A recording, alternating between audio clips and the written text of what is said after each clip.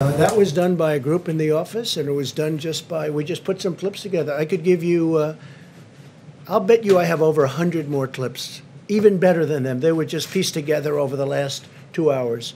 That was just, oh, we have far better than that. That's nothing compared to Samba. This was produced here in the White House. Yeah, by, this uh, was done by uh, Dan and a group of people, and they just put it together in a period of probably less than two hours. Why did you feel need to do that? because uh, we're getting fake news and I like to have it corrected. And the reason they did is to keep you honest. Now, I don't think that's going to work. It's not going to have any impact. But just think of it. You heard the clips, you heard what I said. They said, I acted late on closing down the country. Uh, some people wish we never closed it down. Now, if we didn't, we would have lost hundreds of thousands of people. You know, interestingly, so I'm, I'm against it. We did the right thing. Everything we did was right.